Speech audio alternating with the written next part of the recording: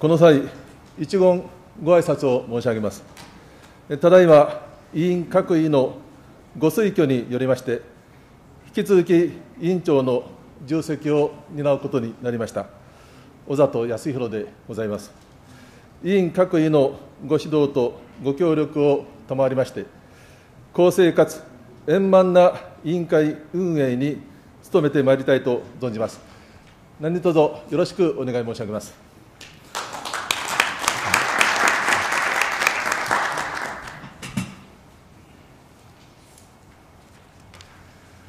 これより理事のご選を行います。委員長。近藤和也君。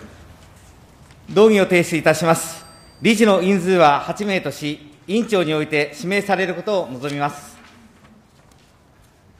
ただいまの近藤和也君の動議にご異議ありませんか？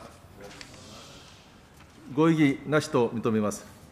よって委員長は理事に西村明宏君、根本幸則君、若林健太君、鷲尾栄一郎君、近藤和也君、山崎誠君、岩谷良平君、大口義則君、以上8名の方々を指名いたします。